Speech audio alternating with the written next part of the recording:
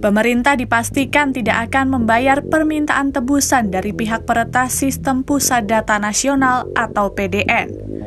Hal ini diungkapkan oleh Menteri Komunikasi dan Informasi Budi Ari Setiadi saat ditemui di Kompleks Istana Kepresidenan Jakarta Senin 24 Juni 2024. Meski PDN dipastikan mengalami peretasan, namun Budi Ari membantah sistem tersebut lemah.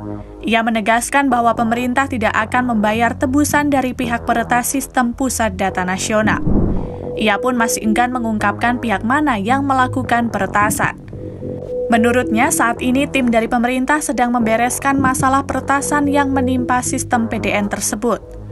Pemerintah juga telah melakukan pemilihan sistem PDN sehingga pelayanan publik tidak terganggu. Kendati demikian, data masyarakat tetap aman meski PDN mengalami gangguan. Sebelumnya, Budi Ari mengungkapkan bahwa sistem PDN Kementerian Kominfo mengalami gangguan yang disebabkan oleh serangan menggunakan virus. Menurutnya, penyerang sistem PDN itu meminta tebusan sebesar 8 juta dolar Amerika Serikat atau setara 131 miliar rupiah.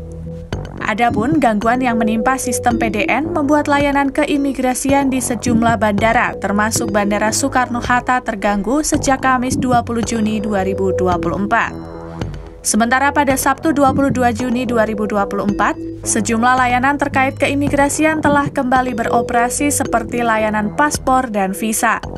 Kini, Kapolri Jenderal Listio Sigit Prabowo mengungkapkan bahwa Polri masih mengumpulkan data terkait adanya gangguan sistem PDN Kementerian Kominfo.